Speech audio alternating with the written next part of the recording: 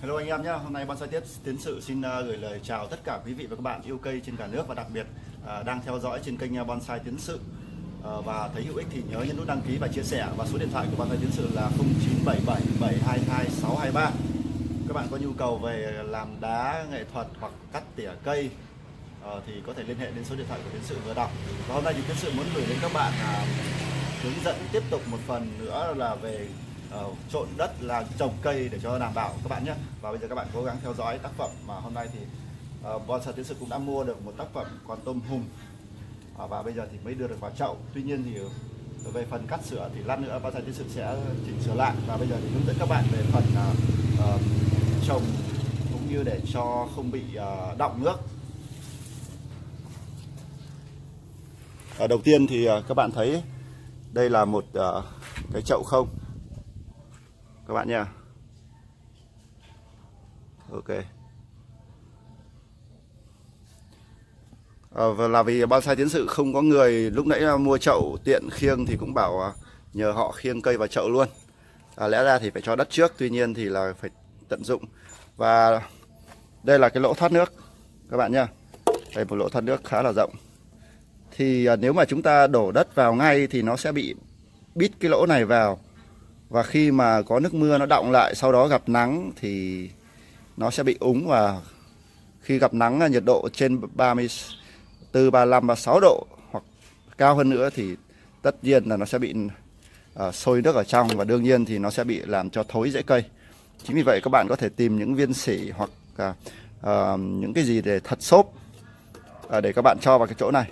Để khi mà chúng ta đổ đất nó không bị bó cái lỗ này vào các bạn nha ok để cho nó thoát nước một cách dễ dàng. Và bây giờ thì các bạn theo đến phần đất.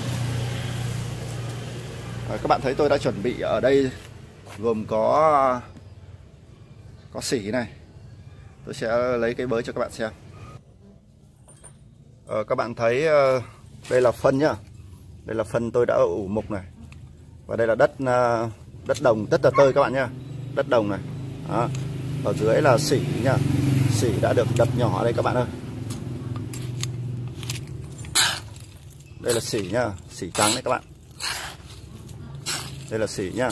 Xỉ là để làm cho nó nó thoáng đất thoáng đất và nó không bị uh, bó đất lại nhé uh, ờ, khi các bạn trộn xong thì đương nhiên là nó sẽ tơi xốp tuy nhiên nếu không có xỉ sau một thời gian đất nó sẽ bết lại. Và nó sẽ làm cho um, khi các bạn tưới nó sẽ không thẩm thấu được vào bên trong nó chỉ có ướt ờ, mơn mơn ở ngoài. Nó bó đất vào. Thì chính vì vậy mà các bạn nên sử dụng xỉ. Ờ, và nếu các bạn không có xỉ thì các bạn có thể sử dụng thêm ờ, chấu nhá. Chấu nó cũng làm cho thoáng thoáng hoặc là nếu có điều kiện thì các bạn có thể sử dụng sơ dừa các bạn nhé ở sơ dừa thì cũng thứ nhất là nó cũng chi phí nó cũng cao hai nữa là cũng khó mua. Thì các bạn sử dụng xỉ chấu nó là một cái cách phương tiện tốt nhất để uh, uh, giảm chi phí các bạn nhé Ok và bây giờ tôi sẽ lấy xẻng tôi ờ, trộn đều lên.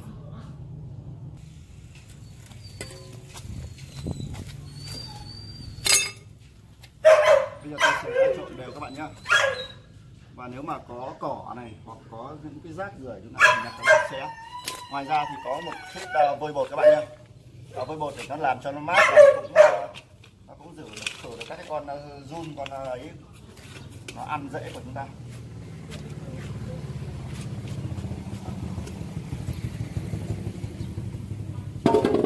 Ờ, tuy nhiên thì vôi các bạn phải nhớ rằng là vôi vôi để thả rồi nhá. Chứ các bạn mà cho vôi nóng vào cũng không tốt. Vôi lâu vôi các bạn để vôi cục nó tự thả ra nguội nhá.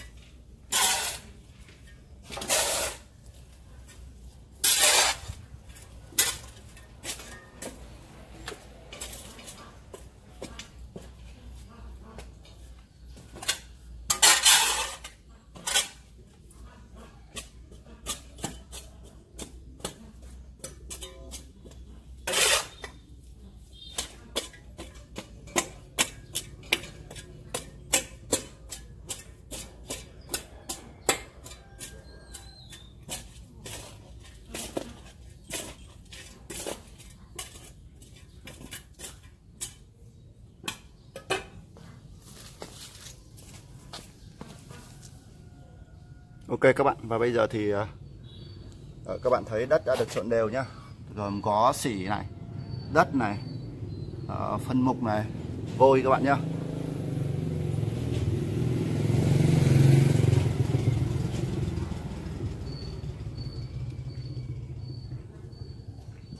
Các bạn cứ trộn xong này là các bạn làm một lon bia là ngon đấy. Mát bổ. Nhưng nhớ đừng uống nhiều các bạn nhé uống nhiều nó sẽ không tốt cho sức khỏe. Hai nữa là trồng cây nó lệch lạc. Ok bây giờ tôi sẽ cho đất vô chậu nhé các bạn nhé à, ờ, hiện nay chậu thì đã có cây. Tuy nhiên thì là chúng ta phải đổ đất xong mới cho chậu à, cho cây. Nhưng mà à, tôi tận dụng có người khiêng chậu nên tôi cho khiêng luôn. Thì bây giờ ta đổ đất xong bắt đầu ta lại nghiêng ờ, từng góc cây một cho để cho nó lên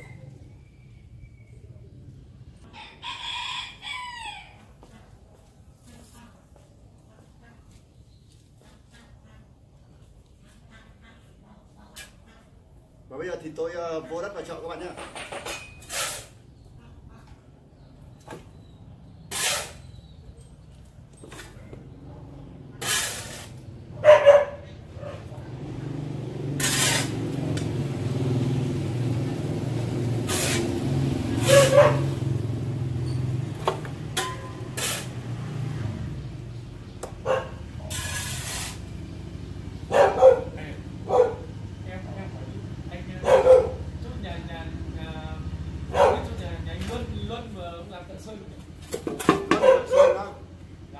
Luân thợ sơn á Luân có phải nó bị giờ gầy không?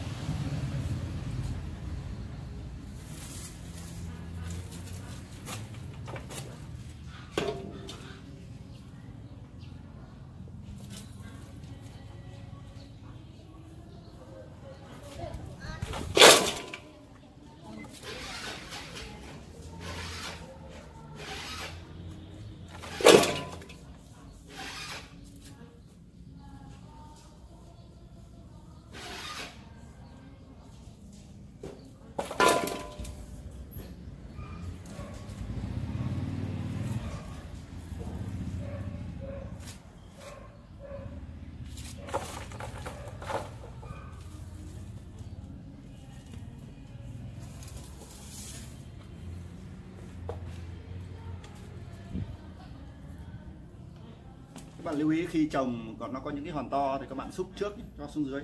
Còn phần trên thì những cái hòn, những mịn nhỏ nó sẽ đẹp cây hơn.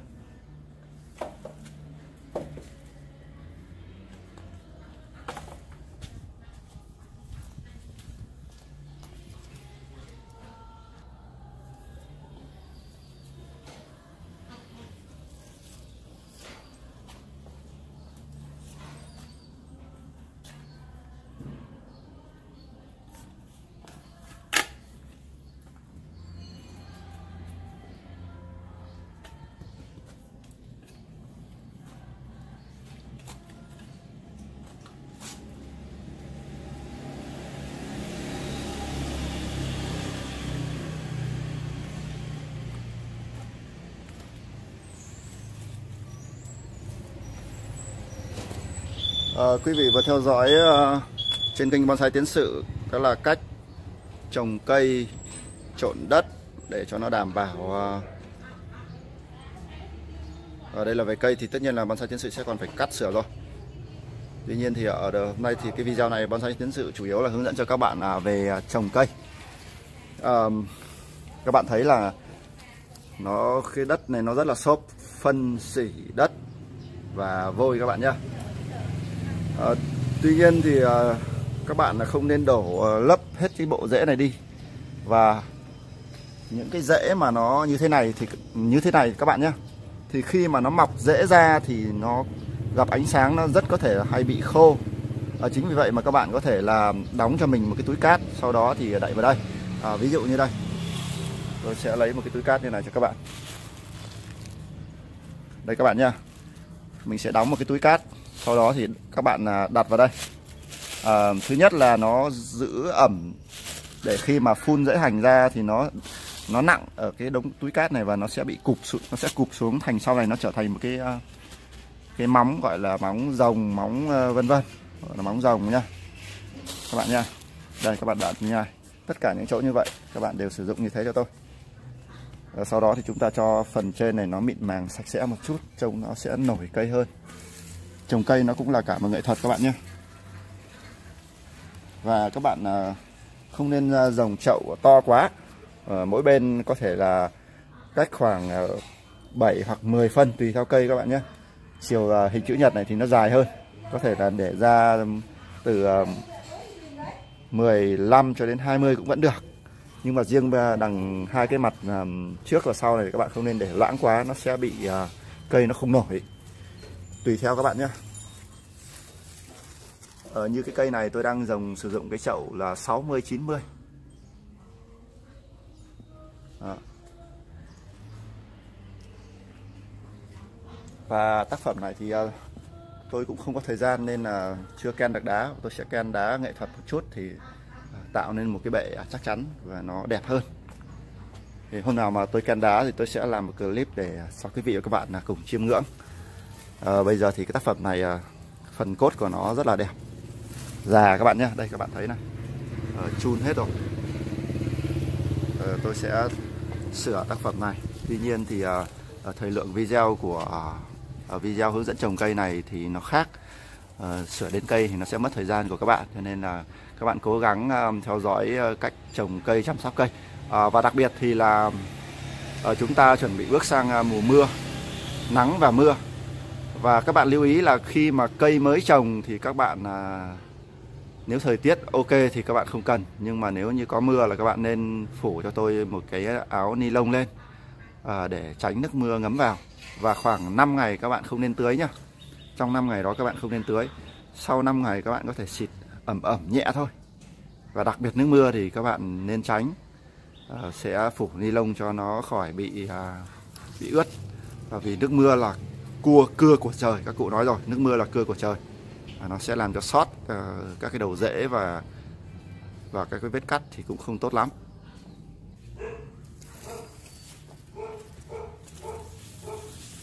À, như vậy là thời lượng uh, uh, bonsai tiến sử cũng hướng dẫn quý vị và các bạn uh, cách trồng cây và đảm bảo cho cây uh, uh, sống khỏe và nhanh. Là các bạn uh, đã theo dõi rồi lượng chương trình cũng xin khép lại tại đây. Một lần nữa ban sản tiến sự xin cảm ơn à, quý vị đang theo dõi trên kênh à, ban sản tiến sự và nhớ nhấn nút đăng ký cũng như chia sẻ cho à, tất cả cộng đồng anh em chơi cây trên cả nước cùng tham khảo à, cách làm cây của ban sản tiến sự nhé. Và xin hẹn gặp lại các bạn ở những video tiếp theo. Ok các bạn.